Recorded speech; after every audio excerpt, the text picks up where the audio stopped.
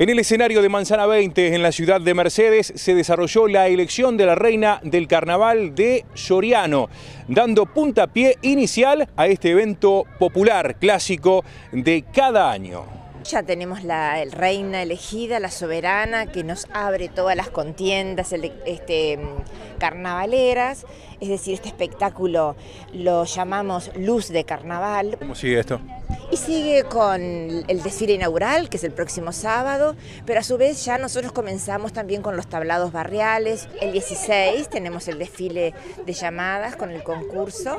Este, hay 12 comparsas anotadas y una que desfila pero fuera de concurso. Y también tenemos a partir del 11 el concurso de agrupaciones, que son este, 16 agrupaciones entre humoristas y murgas de Salto, de Paysandú, de Colonia y de Flores. Alegría, mucha alegría por todo lo convivido, por todo lo compartido. Esa alegría es lo fundamental. Todas saludándonos, estábamos todas de la mano, por eso digo, hubo mucho compañerismo, estuvo muy lindo, más allá de haber ganado o no haber ganado, me iba a ir contenta igual, porque estábamos todas felices, todas agarradas de la mano y cuando le tocaba era un beso a cada una, un abrazo,